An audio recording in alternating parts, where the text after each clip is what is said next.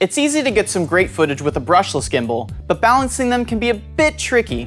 Hey everybody, Marcus here, and today we're going to show you how to set up, balance, and operate the Argo 3-axis gimbal from Came-TV. Let's start with the middle handle.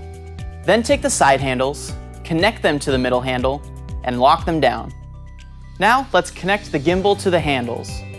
Simply slide the gimbal into the locking plate on the middle handle until you hear a click, and then lock it down.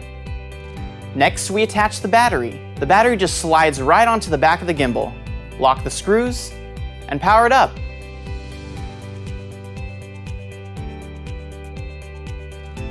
Our gimbal's all set up, so now it's time to balance it.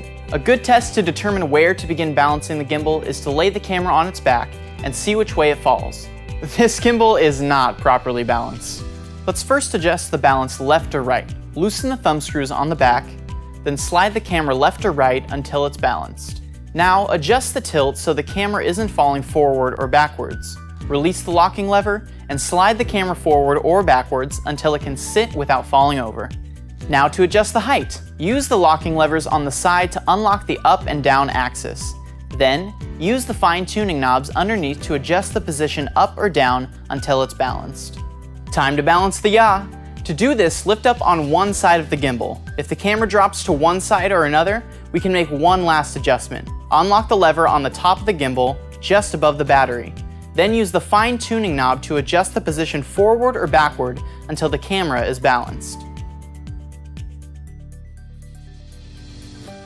Now you've got your gimbal all set up and balanced and you're ready to start getting some footage, but first let's cover some of the different profiles or modes on the Argo. The Argo's remote control is used to cycle through the different profiles. The different profiles change how the gimbal will operate. Profile 1 follows both the pan and the tilt. Profile 2 follows just the pan. And Profile 3 follows neither the pan nor the tilt.